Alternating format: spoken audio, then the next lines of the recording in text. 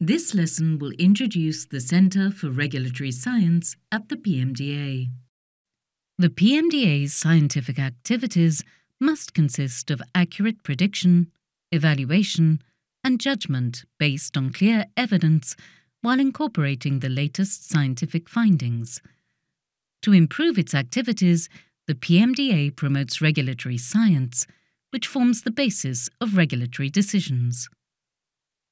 To further advance regulatory science, the PMDA established the Centre for Regulatory Science, CRS, in April 2018.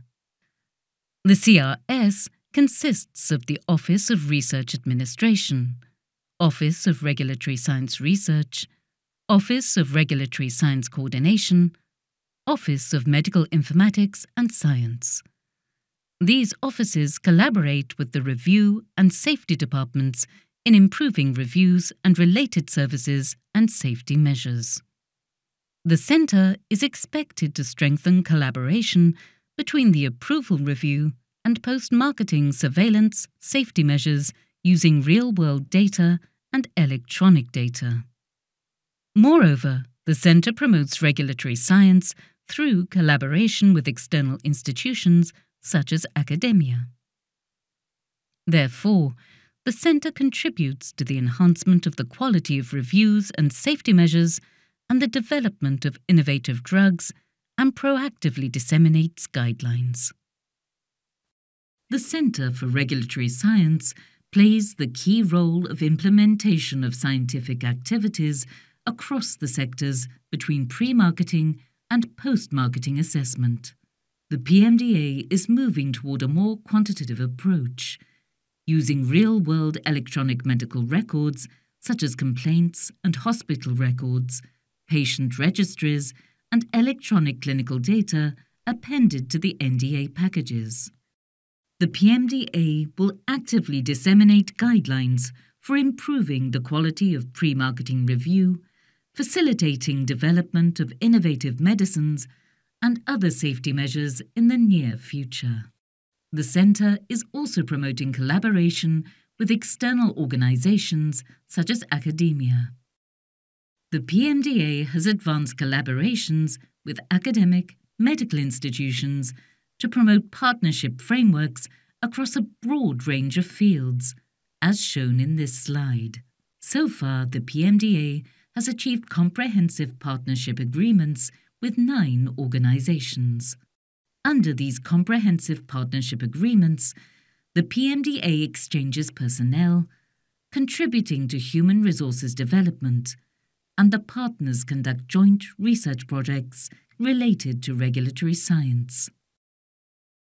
The PMDA established the Science Board in May 2012 as a high level consultative body which discusses scientific aspects of pharmaceuticals, medical devices, and regenerative medical products review. Its objectives are to respond to the progress of medical innovations and to properly address scientific challenges in the field of advanced science and technology. The Science Board consists of external experts in areas such as medicine, dentistry, pharmaceutical science, and engineering. Evaluation methods for innovative drugs, medical devices, and regenerative medical products are discussed at board meetings. The PMDA actively utilises the Science Board, thereby reinforcing collaboration and communication with scientists from universities and research institutions and healthcare professionals. This enables the PMDA to incorporate the latest scientific knowledge into its services thus leading to the improvement of its reviews and related services, including regulatory science strategy consultations, R&D, as well as safety measures. These are some example themes of the PMDA Science Board.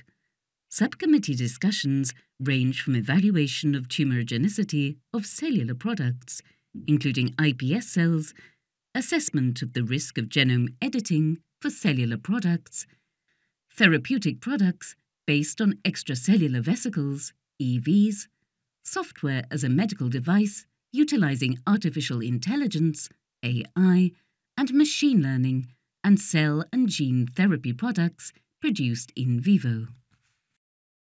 All meeting materials and minutes in the Science Board and the subcommittee meetings will be published on the PMDA website, except for confidential information. The reports of the subcommittees are published in Japanese and English as reports, points to consider, or white papers, etc.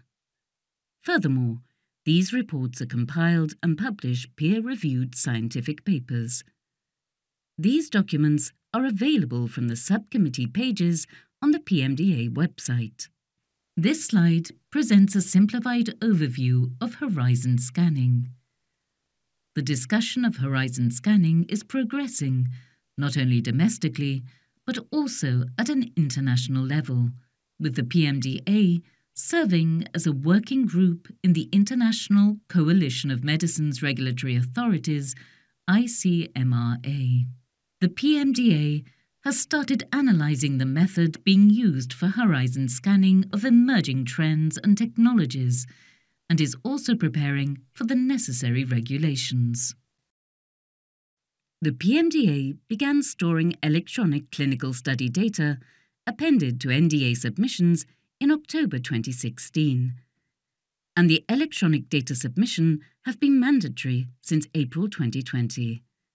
Currently, the submitted clinical study data are actively used by the review team for the review of individual applications. The clinical study data submitted to the PMDA will be accumulated. The accumulated data are expected to be utilized in the future. This slide shows the timing of utilizing study data that serve as the primary basis for the NDA during the review process and the examples of analyses to be performed. Prior to the review team meeting, the reproducibility of the primary analysis of the study is checked, and analyses of the important issues are performed. After the meeting, additional analyses are performed to see whether inquiries should be made of the applicant. Additional analyses are performed based on the opinions of the external experts. Electronic data are utilized in the review process to keep track of the direction of the review and to ensure smooth communication with the applicants, experts, and the PMDA. Examples of clinical pharmacology analyses of electronic data are shown for each type of analysis. The standard pharmacokinetic analysis looks into the reproducibility of the results, the applicant's claim. For example, a claim regarding the results of the pharmacokinetic comparison between Japanese and non-Japanese subjects and the change of individual blood concentration to understand the details of the study results. The population analysis is performed for model diagnostics and qualifications.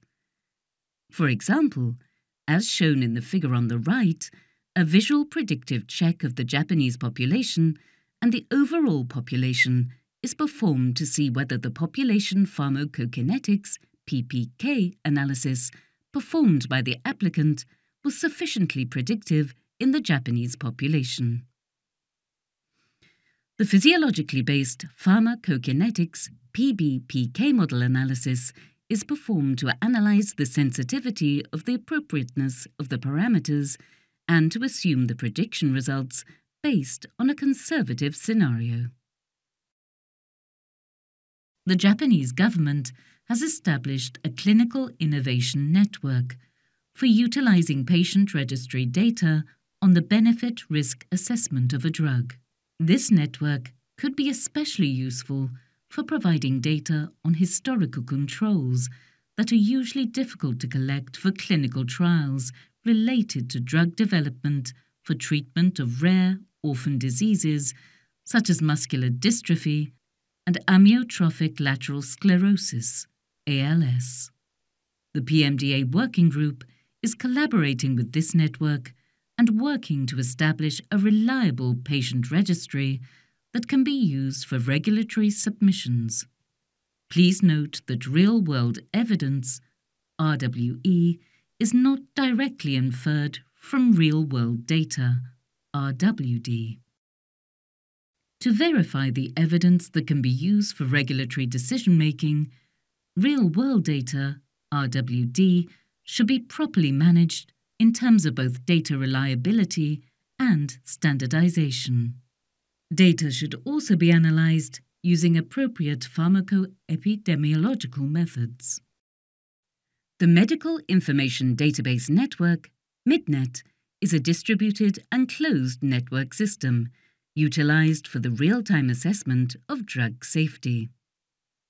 Currently, over 6.05 million patients' data, including administrative information and laboratory test results, are available for analysis.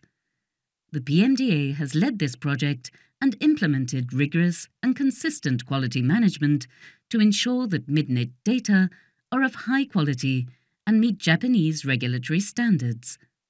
Good Post-Marketing Study Practice, GPSP. As shown in this slide, the PMDA Regulatory Science Centre will work to integrate all regulatory science activities for efficient drug development and better pharmaceutical regulation. Collaborative efforts on multiple topics will have a positive effect and be a strong driver to provide high quality service utilizing the latest scientific developments for advancing public health.